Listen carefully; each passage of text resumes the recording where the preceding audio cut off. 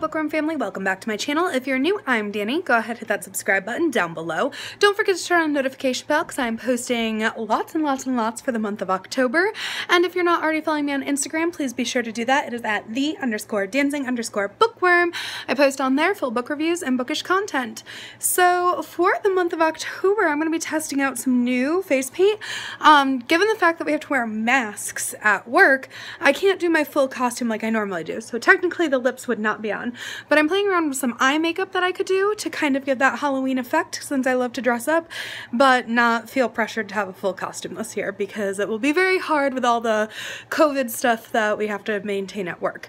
So today's is inspired by Hocus Pocus. It's got the book, it's got the green, purple, and gold colors, and this is inspired by the book, the eyeball on the book, like right here.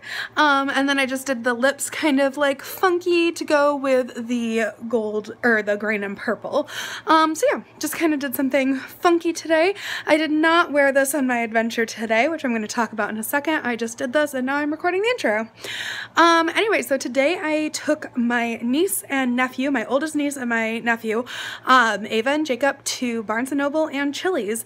And my original goal was to go there and find Halloween inspired books, but none of them really stood out to us. So here's that adventure for you guys to see.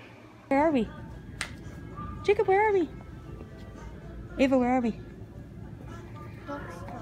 Yeah, Barnes & Noble.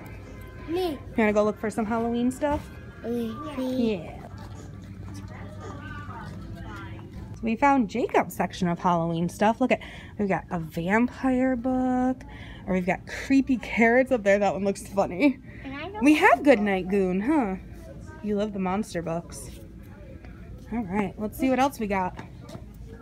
You like the puppets, huh? We are not getting a stuffed animal today, though. We have so many stuffed animals, but I think we are going to get the pigeon book for Jacob and Riley because they love the pigeon. We're not going to get a stuffed animal today. We'll find we'll find something cool to get. Okay. Are you putting on a puppet show on the stage? What's your puppet show about? Oh. It's about a bunny. I love it.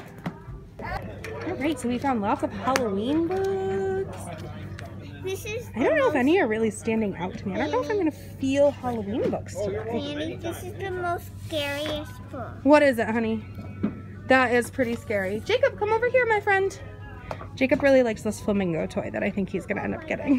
Even scarier. Let's see.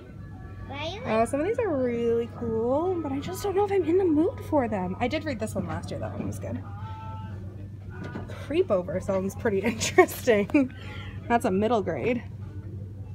Jacob, you're not supposed to be sitting on those. You're getting that toy? You put the flamingo back for that toy? All right. Ava, where are we now? Chilies. Chili's. We're getting some lunch. What are you doing, sir? You got your chocolate milk? And she, he has a booster seat. Yeah, so this is what Ava got at the store. Even though I said no stuffed Fluffy. animal, she still ended up with a stuffed animal somehow, who's named Fluffy. What did you get to drink? Your drink is super cool. Root beer. Root beer comes in a bottle. All right, let's go through and see what we got today. So Jacob got this. I'm gonna let him play with it in a second, but it's Orion's World toy that you basically like smash open and it's got mystery prizes. That's what Jacob got. We got Riley, a little stuffed Elmo. She loves Elmo. We got Ava got this. Oh. Ava got this book of pets to read. And Ava picked me out this bookmark because I like to get bookmarks every time I go. I'm not meow, I'm reading. Then I got two classics. I got Heidi, which I don't own, and Black Beauty, which I also don't own, which I'm excited to get to. Um, then I got, Jacob picked me out this bookmark, which is a sloth. It says hang out and read, because sloths are his fave. We got this book for Riley. It's Jumbo's Jungle Colors. And what else did we get? We got a lot of stuff.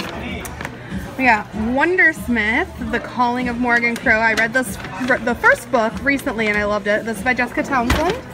And The last book we got is The Pigeon Has to Go to School by Mo Willems. We love Wait, the pigeon can I books. read that? Sure. All right, hold on. I'm gonna get Jacob set up with his toy. Ava, what'd you get?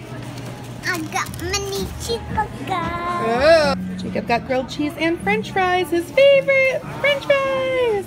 And I got a chicken sandwich and french fries. So the books I ended up getting for myself were Heidi by uh, Johanna Spyri.